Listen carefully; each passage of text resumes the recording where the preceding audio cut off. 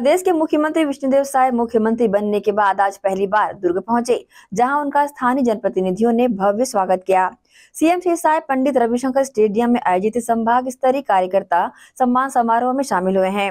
सभा को संबोधित करते हुए मुख्यमंत्री विष्णुदेव साय ने कहा कि हमारी सरकार बने आज 24 से 25 दिन हो गए हैं, लेकिन मात्र इतने ही दिनों में हमने कई बड़े बड़े कार्यों को संपन्न किया है।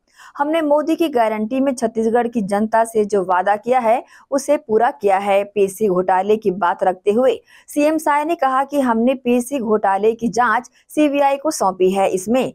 जिसने भी घोटाला किया है, उसमें से कोई भी नहीं बचेगा। हमने मोदी की गारंटी में जो भी वादे किए हैं, वो पाँच साल में पूरे होंगे। दुर्ग में आयोजित मुख्यमंत्री विष्णुदेव साय के कार्यक्रम में सभी भाजपा कार्यकर्ताओं और पदाधिकारियों के अभिनंदन समारोह में पहुँचे मुख्यमंत्री विष्णुदेव साय का वार्ड बारह मोहन नगर पश्चिम के भाजपा पार्षद अजीत वैद्य ने सैकड़ों महिलाओं के साथ दुर्ग के राजेंद्र पार्क चौक के पास स्वागत किया। इस दौरान मौजूद सैकड़ों महिलाओं ने मुख्यमंत्री का फूलों से, से स्वागत किया। वहीं मुख्यमंत्री ने उपस्थित महिलाओं की भीड़ को देखकर खुद अपना काफिला रुकवाया और सहज भाव से सभी का अभिवादन स्वीकार किया।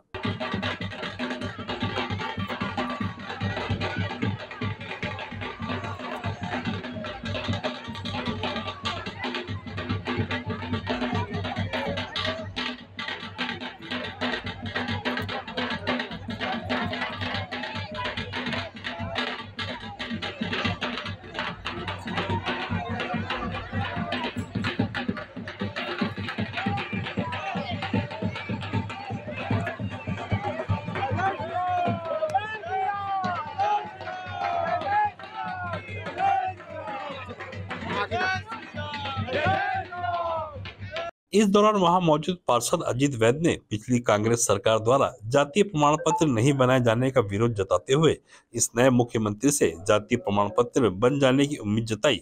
इस संबंध में उन्होंने अपनी प्रतिक्रिया भी दी।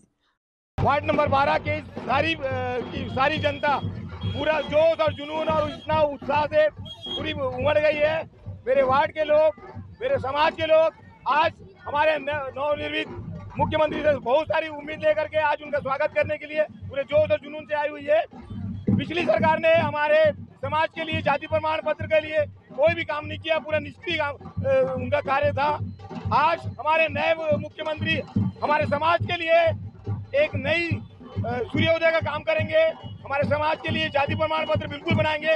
इस उम्मीद से मेरे पूरे वार्ड के लोग, मेरे समाज के लोग, महासमाज के एक एक बच्चा एक एक बुज़ुर्ग एक एक महिलाएँ आई हुई है अपने जाति प्रमाण पत्र को लेकर के।